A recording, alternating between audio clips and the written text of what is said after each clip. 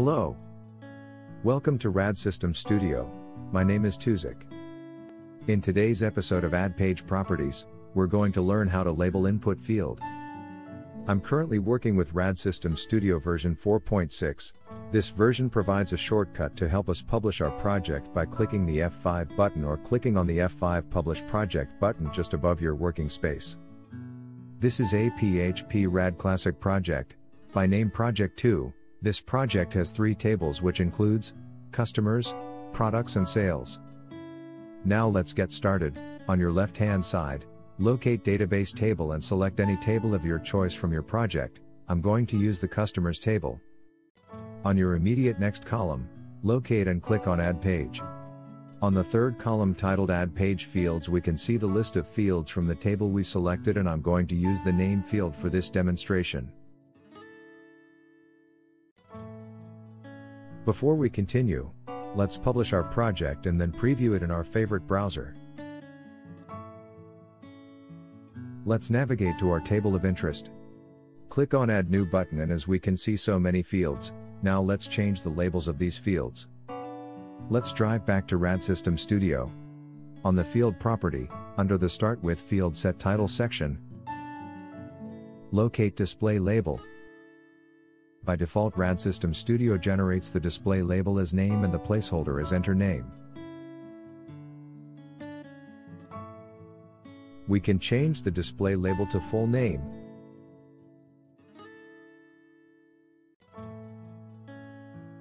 Once done, let's publish our project and then preview in browser. When we refresh our page, we can see that the label name has been changed to full name. That's cool, observe that this takes automatic effect on the placeholder. That means, whatever changes we make to the display label, automatically affects the placeholder unless you make a manual changes to the placeholder itself.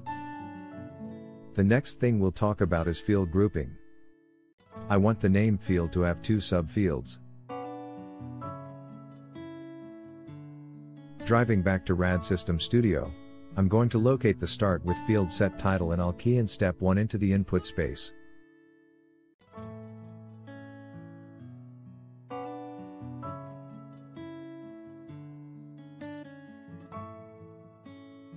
Once done, let's publish our project, and then preview in browser. When we refresh our page, we can see step 1 directly above our display.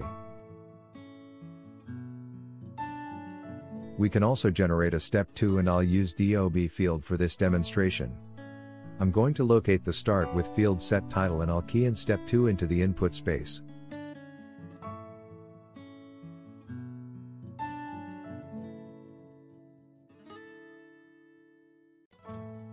Let's preview it on the browser. We can see step 2 directly above phone field display label. Now here's the trick. Remember we worked with DOB field and we thought the group label should to go above the DOB display label like it did with name field but it doesn't work that way. It only appears above for the first field and then the rest appears below the fields we decide to work with. So if we want step 2 to appear above the phone field, we'll work with the field directly above it which is DOB. We can also decide to style our field title and once we publish, preview and refresh our page, it takes effect immediately.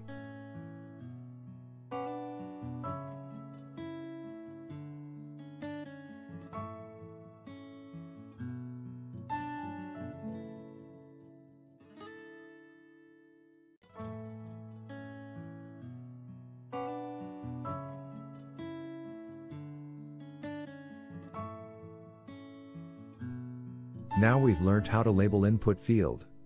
Thank you for joining us today. Most importantly, if you've not subscribed to our channel, please subscribe for more tutorial videos like this and don't forget to like, comment and share. Hopefully, I'll see you in the next video. Thank you.